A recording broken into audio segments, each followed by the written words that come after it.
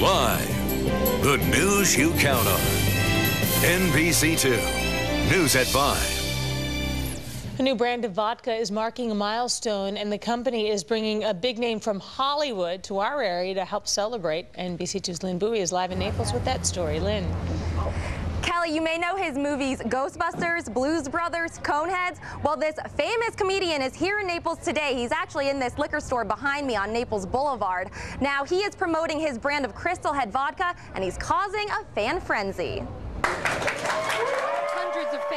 in line to meet Dan Aykroyd, the young, the subtle, the sublime. The actor and comedian signing bottles of his Crystal Head vodka. I put things in people's eyes, ears. Now I'm putting uh, a nice taste on people's tongues.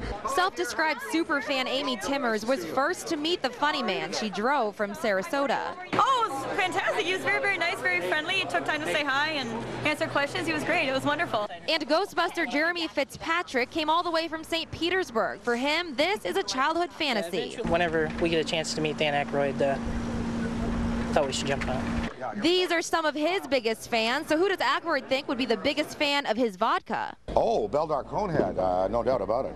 He would, uh, you know, he would probably. Uh...